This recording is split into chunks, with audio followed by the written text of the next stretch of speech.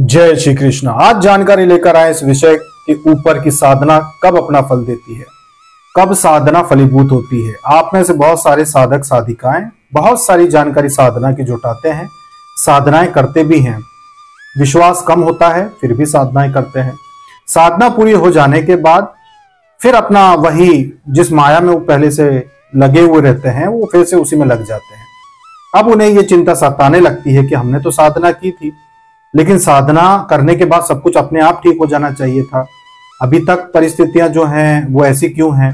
तो इसी विषय पर आप समझाना चाहते हैं कि साधना करने के बाद भी कई बार हमने वीडियो में समझाया है कि साधना का प्रयोग कैसे किया जाता है।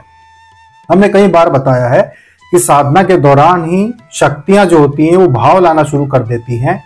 आपकी मन बुद्धि में या आपके जीवन में जो समस्या है, उनसे कैसे बाहर आना है? लेकिन बहुत सारे साधक साधिकाएँ साधना के मूलभूत अनुभवों पर ध्यान ही नहीं देते। बहुत सारी साधना के वीडियो उन्होंने देखे हैं, पर उसके बावजूद भी उन्होंने अपने जीवन में उन नियमों को नहीं उतारा जो हमने समझाए, जो हमने एक साधक के गुण होते हैं।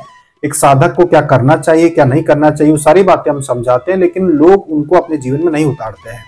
ध्यान रखें कि जब आप साधना करते हैं, जैसे आर्थिक आपकी स्थिति ठीक नहीं है, आप माता लक्ष्मी की साधना करते हो या अप्सरा साधना करते हो तो ध्यान रखें कि आपको साधना के दौरान ही मन में भाव आना शुरू हो जाएँगे, देवी शक्ति आपको भाव लाना शुरू कर देती है।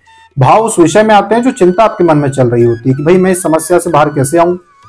या अपनी आर्थिक व्यवस्था कैसे सुधारूं? या मैं आगे क्या करूँ? मेरे मन में ये विचार है। जब आप साधना कर रहे होते हैं, उस दौरान, जैसे 21 दिन की साधना है तो साधना के दौरान ही जब आप रात को सोते हैं तो स्वप्न में आपको चीज़ें दिखाई देती हैं, जो आप भविष्य में आपको करना चाहिए। वो चीज़ें दिखाई देती हैं जो आपको करना चाहिए।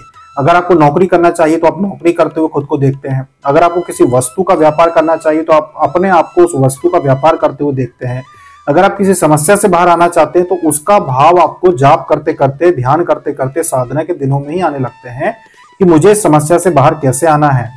तो जो भी साधक साधिकाएँ किसी मनोकामना के लिए साधना करते हो, सिद्धि मिलना, सिद्धि के दर्शन होना, दिव्य दृष्टि, ये सब तो आगे की बातें हैं, पर मूल तो ये है कि आपकी समस्याओं से आपको बाहर निकालने के लिए शक्तियाँ पहले ही आपको दिमाग में, बुद्धि में, आपके मन में भाव लाना शुरू कर देती है कि आपको ये करना चाहिए, जिस पर बहुत सारे साधक ध्यान नहीं देते हैं। और फिर परेशान रहते हैं कि हमारी समस्या तो दूर नहीं हो पा रही है।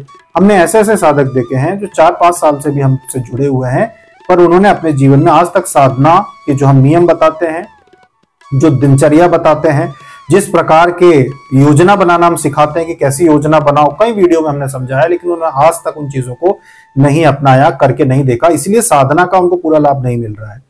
तो अगर आप अपने जीवन में साधना का पूरा लाभ लेना चाहते हैं, कि आपको ज़्यादा से ज़्यादा साधना का बेनिफिट हो, जैसे आपने माता लक्ष्मी योगनी साधना की और माता आपकी सहायता करें, अप्सरा साधना की सहायता करें तो वो जाप के समय, ध्यान के समय आपके मन में भावना लाके, उस विषय में भाव लाकर और आपको संकेत देना शुरू कर देती है।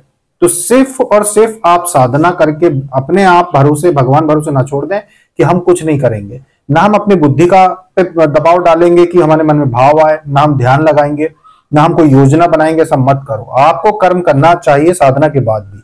अब योजना बनाइए, अब ध्यान लगाइए, जाप करिए 21 दिन की साधना के बीच में ही आपके सभी प्रश्नों के जवाब पहले ही सिद्धियाँ आपको दे देती हैं, भाव ला के मन में। और उसके बाद जाकर सिद्धियाँ जब आ जाती है तो आपकी सहायता करती है। जो भी आप योजना बनाते हो, जो भी आप काम शुरू करते हो, उसमें वही सिद्धियाँ फिर आपकी सहायता करती हैं और आगे जाके आपको विजय दिलाती है। इसीलिए कोई भी साधक अगर साधना करता है तो भगवान भरोसे ना बैठे रहें। साधना करने के साथ साथ देखें कि दिव्य शक्तियाँ कैसे अनुभव करा रही हैं, कैसे आपके मन में भाव ला रही हैं अपनी समस्याओं से को निपटाने के लिए, अपने दुश्मनों को निपटाने के लिए, अपने भविष्य को लेकर क्या योजना बनाना चाहिए? सारे भाव आपके मन में आएँगे। तो आशा है कि साधना जो साधक साधिकाएँ कर रहे हैं, वो ये मूलभूत अनुभवों पर ध्यान देंगे, अपने साधना के दिनों में और अपनी समस्याओं से बाहर आएँगे। अभी तक के लिए इतना ही। जय श्री कृष्णा।